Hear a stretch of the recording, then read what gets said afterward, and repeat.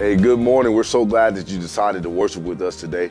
If you're here for the first time, reach in the seat pocket in front of you, grab a communication card, fill that out, and then take it to our welcome desk. And we got a free gift for you just to let you know that we love you and that we are here for you. And then for those of you who call the River Church your home, if you're ready to give your tithes and offerings today, there's many ways you can do that online through our River app or our website, or you can put that in one of the drop boxes that we have located here throughout the building. Now, there's just two announcements that we have for you today. The first one is this. This coming Wednesday night at 7 o'clock p.m., we are back again with First Wednesday. And this is going to be a special service. We're going to, we're going to celebrate what Christ has done for us through his death, burial, and resurrection. So you really need to be there that night. It's going to be really special. We're going to do some, some different things with the service, and it's going to be an awesome time. And then the second is this.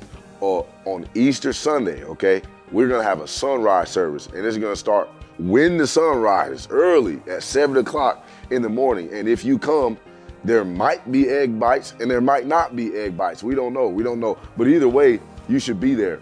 Now, outside in the cove, there are there are these big stacks of cars that have the times for our Easter Reimagined services on April the 10th, Palm Sunday, and April the 17th, Easter Sunday.